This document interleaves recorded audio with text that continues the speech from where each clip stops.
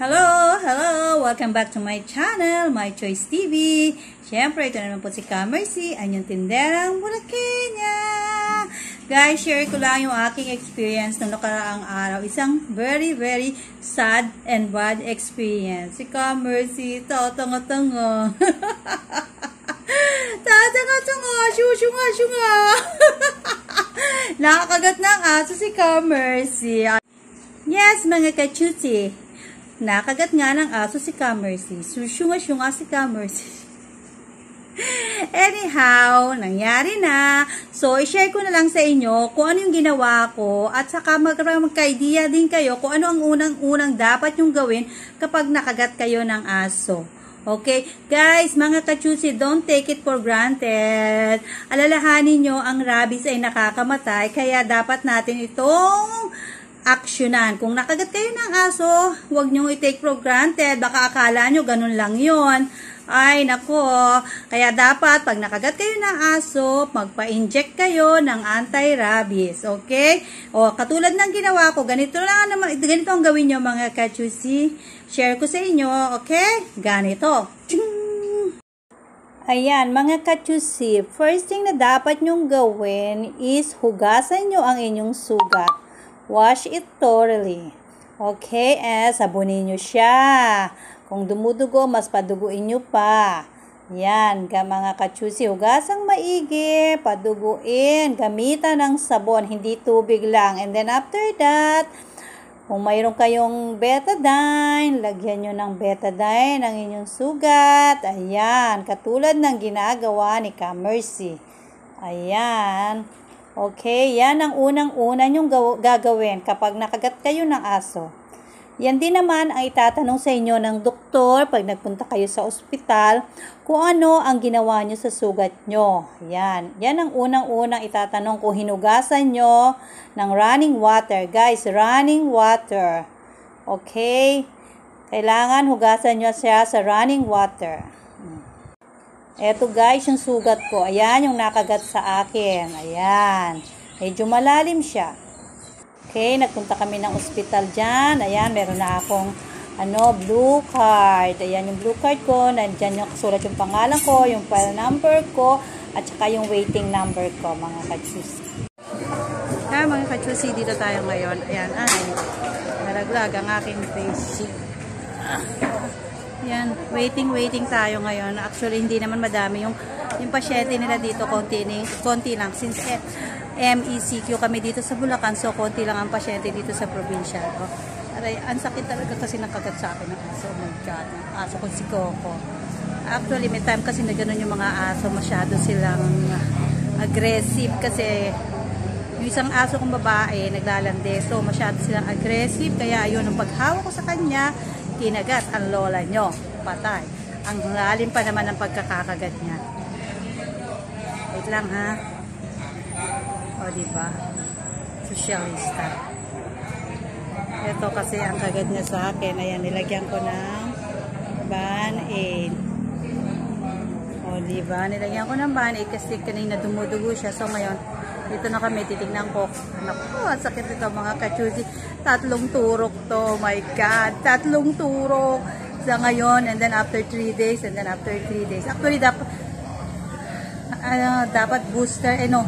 Kasi nagpasa na ako yung last dose, last dose ko. Eh. Nag-booster ako last last year. So, I think ulitin na ulit ngayon. Tatlo na ulit. Kasi kung, kung naka-booster ka last na, uh, ng within a year yata is twice ka na lang nila injectionan. Pero ako, naka-booster kasi ako, I think one year past na eh. Kaya, kaya baka ulitin na nila to. Okay, ayan mga kachusi. Dito tayo ngayon sa provincial hospital. Waiting, waiting. Waiting na matawa. Buti na nga lang, kakaunti lang ang pasyente. Ewan ko nga lang kung anong oras ako matatawag. Last time kasi, usually kasi ang dami pasyente dito. So, medyo matagal bago ka matawag. Antay-antay ka dyan hanggang sa ugatin ka.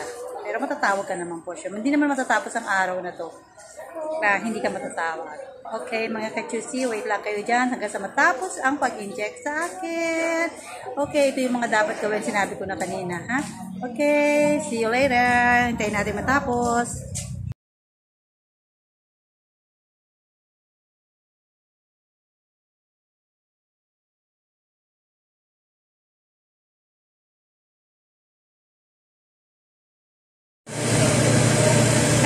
Kachusi, waiting pa rin tayo.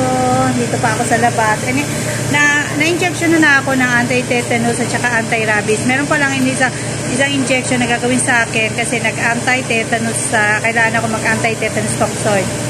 I don't know if I eh, yung ko kung tama yung sinabi ko, pati yun ang narinig ko, anti-tetanus toxoid. Okay? Dito sa kamay ko, so titignan nila yung nag-skin test sila sa akin kung may reaction yung gamot sa akin. So, kung may reaction siguro, hindi ko alam kung gagawin nila what. So, waiting pa rin ako. Pinababalik ako ng 12.15 para ma-check nila.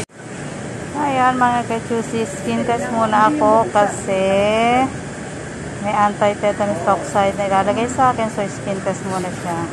Kung okay naman at wala namang reaction yung gamot sa akin, so itutulok na lang sa akin mamaya. And then babalik ulit ako uh, sa 20, I think 20. Bigyan naman ako ng instruction ni Mel. Okay, mga kachusi, update ko na lang kayo ulit. Bye-bye! Ayan mga kachusi, natapos na. Ayan na, may appointment card na ako. At saka yung nakalista dyan, kung kailan ako babalik.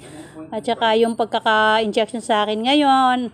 Okay mga kachutsi, sana may natutunan kayo sa akin kung paano nyo i-handle ang situation na ganito na kapag nakagat kayo ng aso.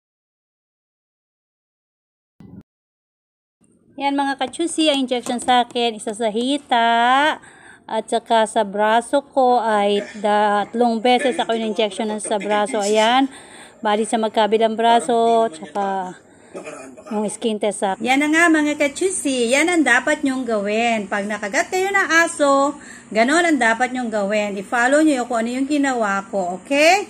O ngayon, eto, at least hindi ka nakakabakaba. Although, meron pa ako isang iniintay na injection, pero at least, hindi ko hindi ako kakabakaba na any moment umatake yung rabies sa akin. O, di ba? Although, yung aso ko naman is mayroon na siyang injection na anti-rabies. Okay? Kasi yearly naman yung injection na anti-rabies, may injection siya.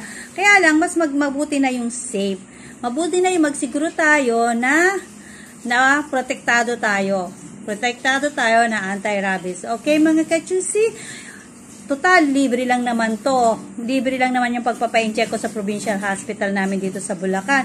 So, ang ano mo lang dito is, mag-aantay ka nga lang, medyo matatagalan ka nga lang, at, pero at least libre, di ba? Imaginein mo, magpa-inject ka ng ano, magpa-inject ka sa mga private hospital, masyadong mahal. Okay? Pero kung afford mo naman magpa-inject sa mga private house, hospital, why not, di ba?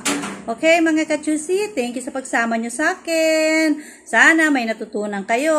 Okay, mga kachusi, maasalam.